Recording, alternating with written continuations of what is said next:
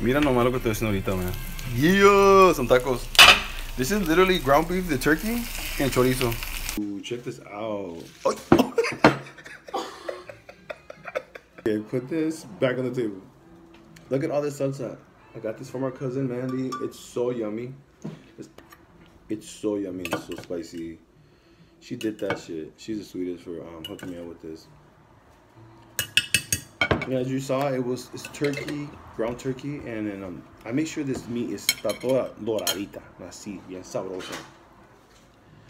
You already. Mmm.